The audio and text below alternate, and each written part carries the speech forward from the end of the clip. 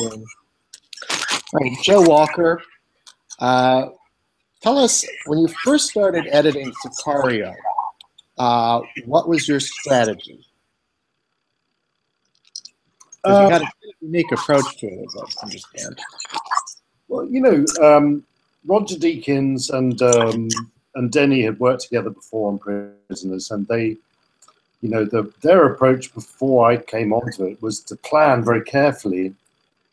Um, I guess because the budget, although big for some films, wasn't really quite big enough for the amount of action and the location changes. So they were very scrupulous in their planning, and so my strategy just really was to. Um, you know, to enjoy these dailies that I was getting from Roger, and just to be very rhythmic and muscular and ab- about it. It felt like um, I could really sort of manage the tension, you know, with the pacing of the film, and to be super um, accurate. Really, you know, sometimes using some very different strategies to what I've normally done. For example, often cutting mute, completely mute which I tried on this film. I mean, that was a conversation with Denis that, in fact, the first time we met, I talked to him about working with music and that I was getting sick of temp tracks because I felt that forces composers into well, creates unoriginal music and also it's a sort of big energy sapping thing. I could spend ages. I mean, like my background was in music and sound, so I can waste so much time doing temporary things. And you know, fundamentally, know in a cut whether the tension in a film is and the storytelling is successful because it's successful, or whether it's been propped up by various things like the propulsive rhythm of music. So it's kind of very good to be able to kind of if you can create an almost silent movie that works, then you know that you can build from that, and then you can let out the air a little bit and allow music to um, uh, have a have a feature in it. So I don't know. There were you talk about strategy. There was no big clear one, but I wanted to try a new trick on this film, which was to try and cut um, mute or at least without music. Well, it is a generally held belief in Hollywood filmmaking that if you can watch a film with the sound off and still know what's going on, then you've made a successful film.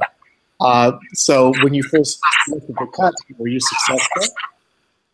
Um, the first, yeah, the first assembly screening was pretty good. I mean, there was still, you know, there was work to do, but you know, we're talking about how much work was there to do. Well, there was some tough decisions to make about some scenes that we felt had to go, and um, there was a little bit of street. There was some story streamlining. Um, you know, fundamentally, the film is told from Kate's point of view for the most part.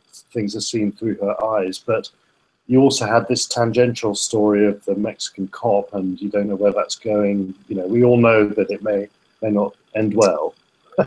you don't know, kind of quite know how he connects to the story.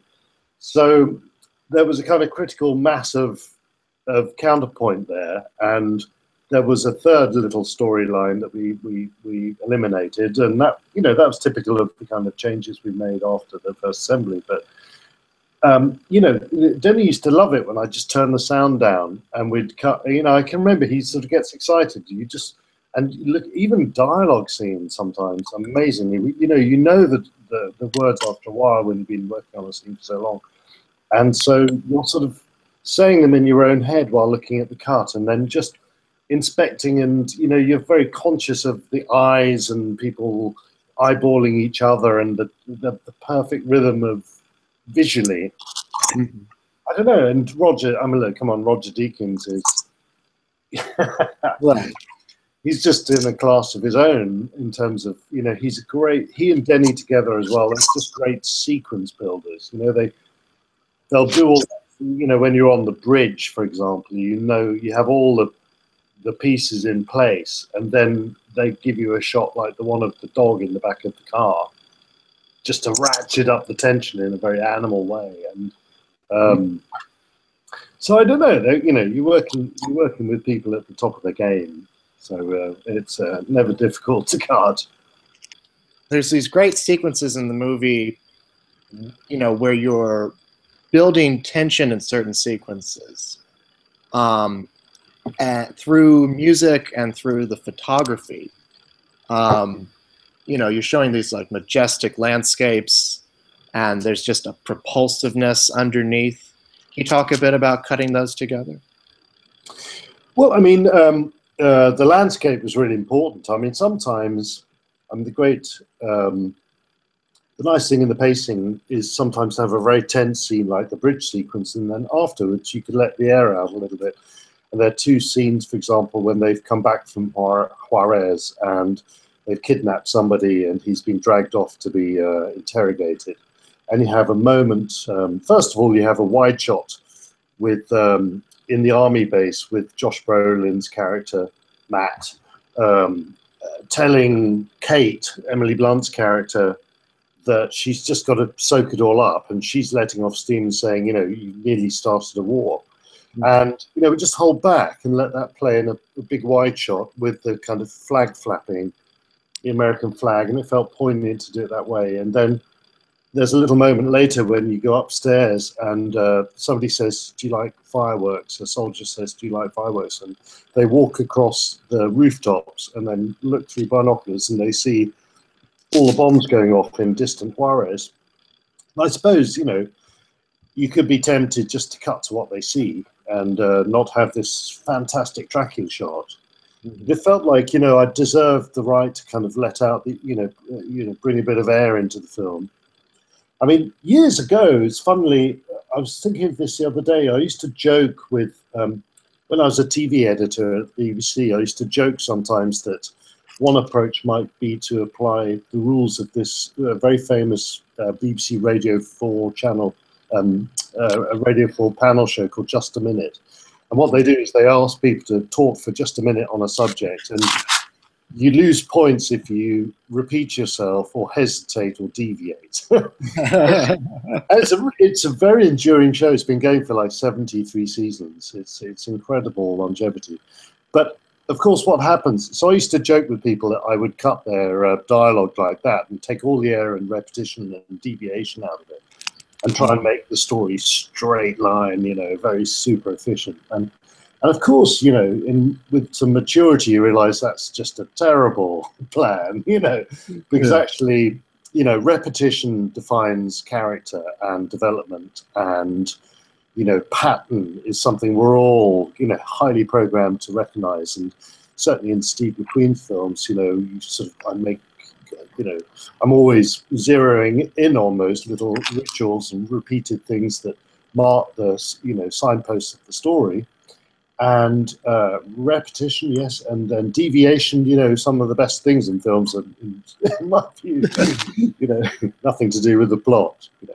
Mm -hmm. I, was, uh, I was thinking about the estate agent showing somebody around a house and it's on fire in Synecdoche. You know, that kind of, it's like, no, it's not part of the narrative, it's just a glorious vignette, you know.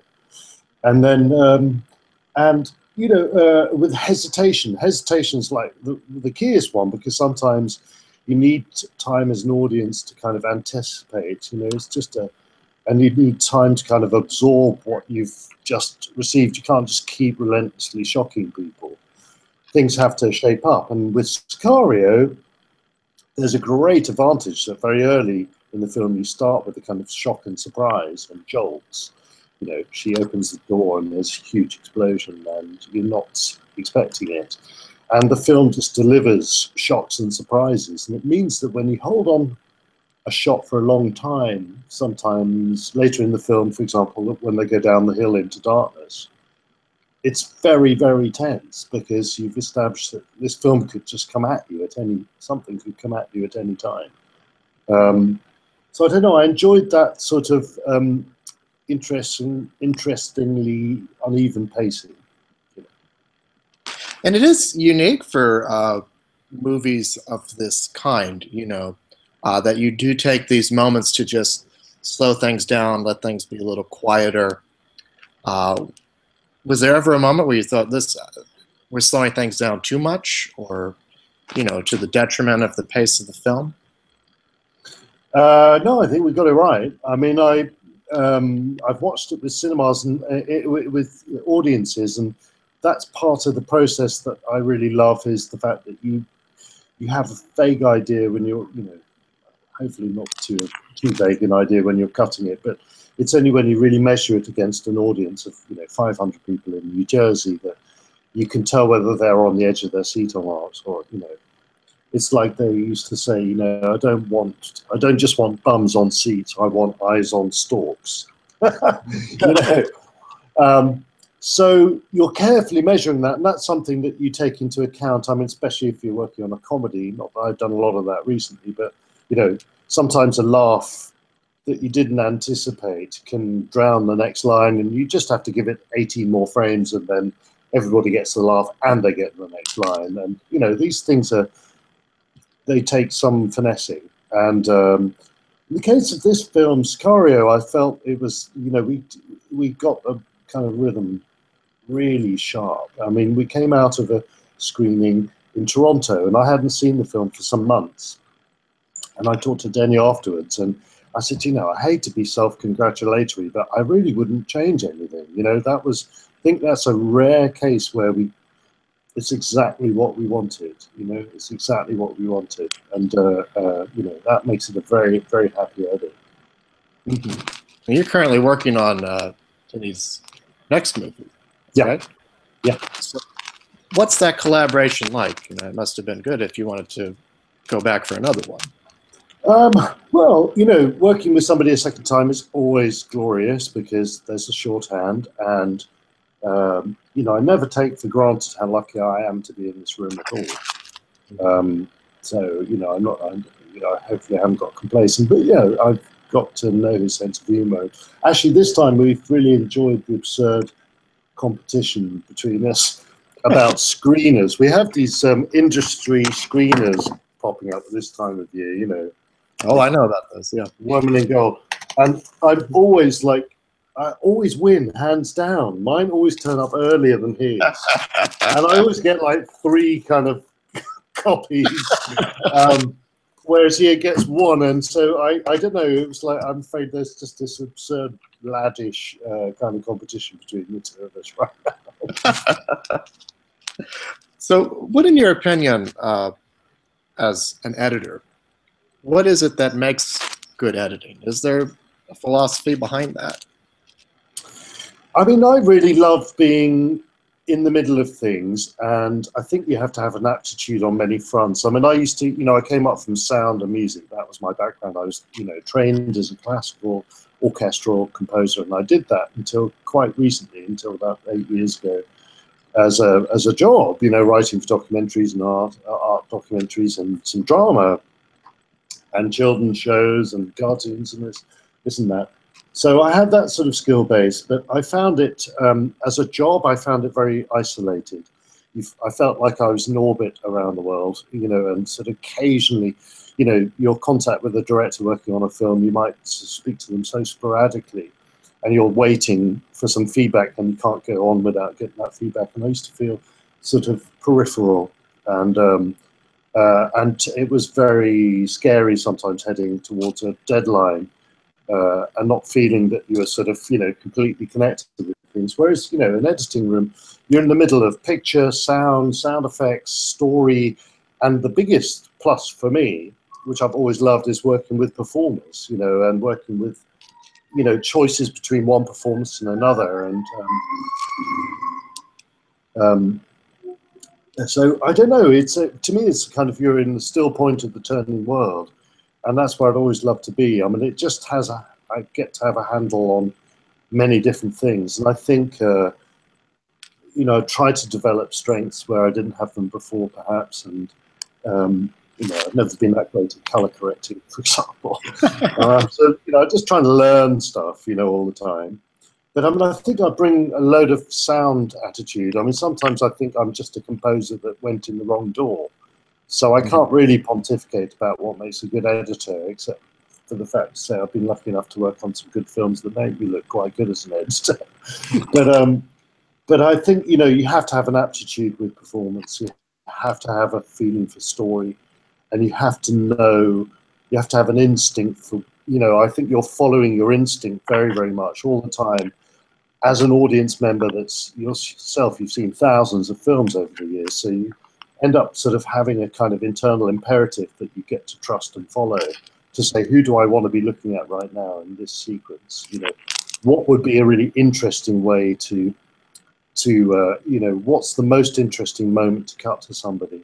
I've got, if I could deviate a little bit, there was a really, there was a, a really brilliant um, opportunity I had a couple of years ago. I was invited to talk to some students in York University up in the north of England. And I took with them, I asked Steve McQueen, I said, do you mind if I take a sequence from Shame? And it was just the simplest sequence I could think of taking because we are going to do a practical workshop. So I gave them all the dailies from the scene, which was a scene where Carey Mulligan is a nightclub singer and sings to uh, an audience, including her brother, played by Michael Fassbender.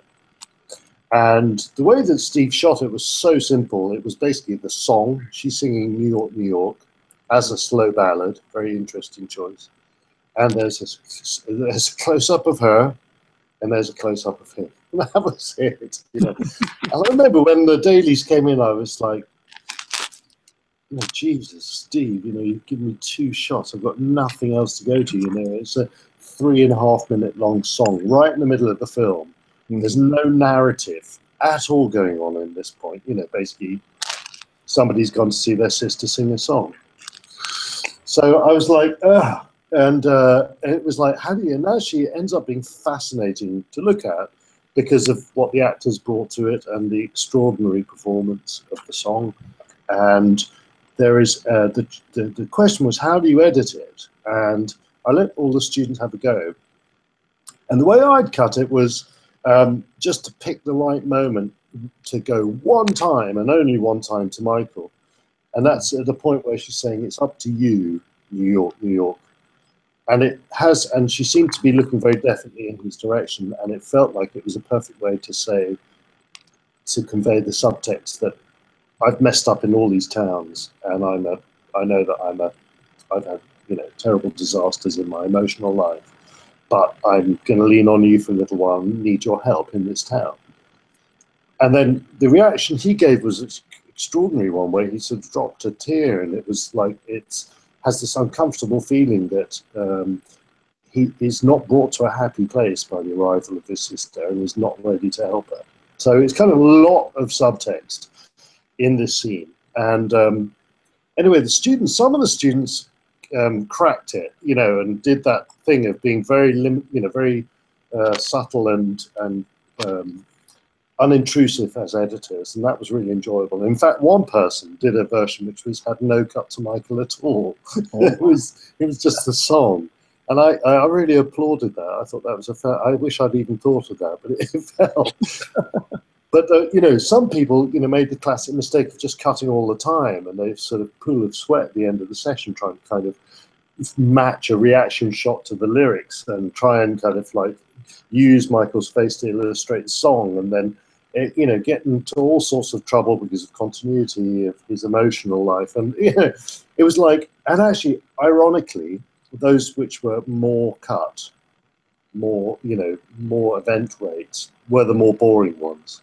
Whereas the most mm. fascinating ones were the one with the least amount of cuts, because you really investigate the screen, you look into the screen, and the longer you hold things, sometimes the more it's like reality. You know, you're sort of it's a little cheat. You know, with Twelve Years a Slave, there's an element that you, you hang back and you just show a guy hanging on a tree and he's dancing in the mud, and after a while you sort of want to get up. You know, you want to get up and try and stop it. It's just so, so horrific and you know, it's it's teasing out that really awkward time mm-hmm. um, with no kind of comfort zone of an editor sort of holding your hand and showing you some other pretty pictures. You know, it's like uh, it's, let's put a frame around this and try and make it more like reality, and there's attention to that. So I don't know. That was my discoveries over the years. I think it's just knowing when not to cut. I'm just a big fan of not cutting as an editor. Do you think your background in music helped you learn rhythm, which is so integral to editing? I mean, you you talked about attributes of an editor, but surely one of them is kind of clicking your fingers at the same time as your director, and that's got to be a sort of attribute. And um, I feel sometimes I I don't know. I go into a funny place looking at performance and editing where I'm inside the action in some way. I mean, the real example of that is that if you're cutting a fight sequence, sometimes at the end of the day your muscles ache. It's really weird. It's like you've been rolling with the punches. You know, you're doing the moves inside. You're not moving at all, but mentally you are. And um, you sort of try to find the inner rhythm of things all the time. I mean, that's that's really the thing I find fascinating. Well, thank you so much, and congratulations on the film. Thank you. Nice to talk to you, Zach. Thank you. It was nice talking to you too. Thank you. very informative. Bye.